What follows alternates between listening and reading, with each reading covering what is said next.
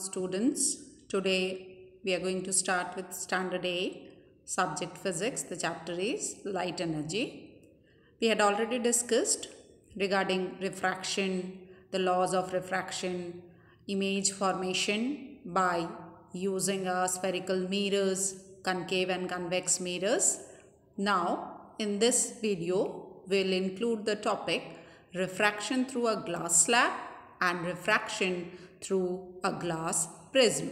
So, let us discuss in detail refraction through a glass slab first. Here, as you can see, there is a glass slab as we are discussing on a piece of paper. So, it is a two-dimensional figure only. It is a thick glass slab whose all corners we have named as A, B, C and D. So, here we have taken A, B, C, D as four corners.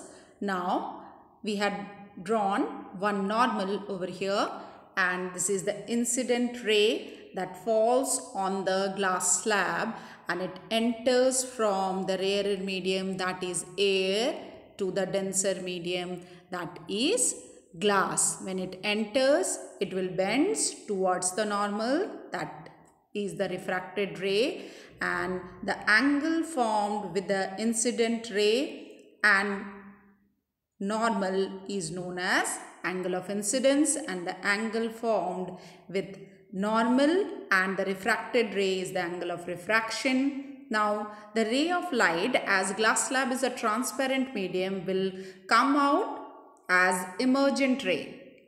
It comes out of the glass as an emergent ray again from denser to the rarer medium. So the angle formed between the emergent ray and the normal is known as the angle of emergence. Now, if we will produce the incident ray, this is our incident ray, straight forward and the emergent ray, it is always parallel to each other. The incident ray and the emergent ray is parallel to each other and that means there is a displacement. This is our incident ray and when the ray emerges out, then there is a parallel displacement that takes place between the incident ray and the emergent ray. Now, what will happen that this displacement is known as the lateral displacement. So, the terms that we had discussed here that is angle of incidence, angle of refraction, angle of emergence, lateral displacement that is the displacement takes place between the original incident ray and the emergent ray.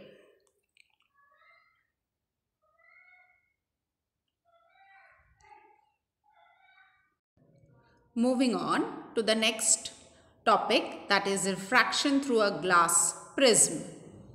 Here as we have taken again on a piece of paper so we have drawn a triangular face only through which we can see the reflection of light.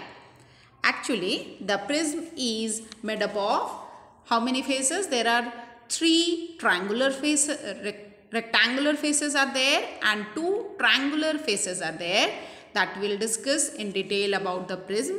As you can see this is a prism where we are having how many faces? One this rectangular face, this one another rectangular face, this one is the another rectangular face and the front face and the back face are the two rectangular Uh, triangular faces. So incident light incident can be incident on either this face or this face any of the face and that passes through enters through the prism and refraction takes place. So these are the these are these two are the refracting surfaces okay? And from here we will see from this face we will see that how the refraction takes place so let us proceed with the refraction through a glass slab. Here again we will take an incident ray. Here again we will take an incident ray.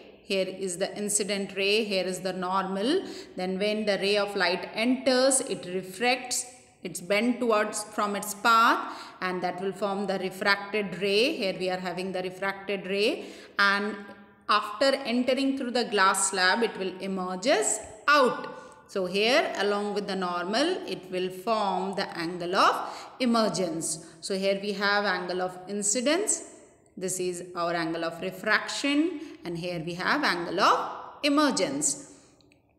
Two the refracting surfaces meet at a point there we'll get the angle of prism. And when the incident ray is moved forward and the emergent rays move backward we'll get the angle of deviation that is denoted by small d. Okay?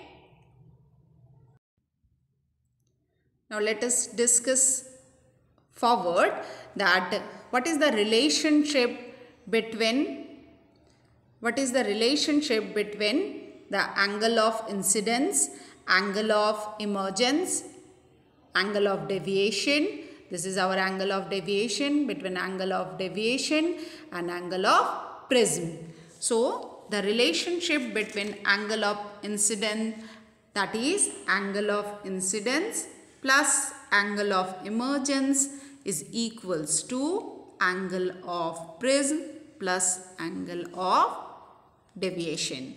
So this is the relationship. We need not have to prove that that you will do in higher classes. Now we have to find out the relationship between angle of incidence, angle of emergence, angle of prism and angle of deviation.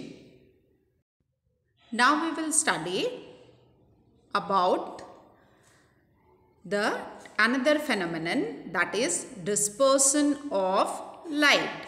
That is dispersion of light. What it is? That as you can see here the incident ray that falls on the refracting surface that enters through the glass prism and after refraction it emerges out with a band of seven colors. That means one single white light is breaking into seven colors, seven different colors. That is the splitting of light.